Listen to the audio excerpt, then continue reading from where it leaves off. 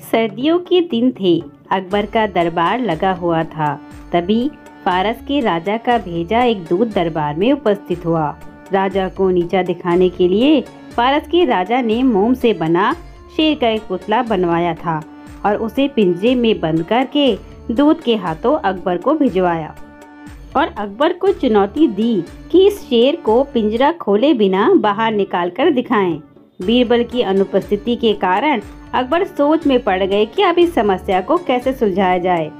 अकबर ने सोचा कि अगर दी हुई चुनौती पार नहीं की गई तो जग हसाई होगी।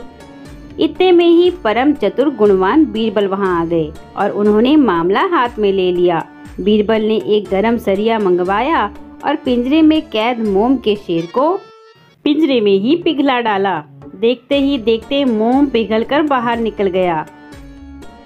अकबर अपने सलाहकार बीरबल की इस चतुराई से काफ़ी प्रसन्न हुए और पारस के राजा ने भी फिर अकबर को कभी चुनौती नहीं दी।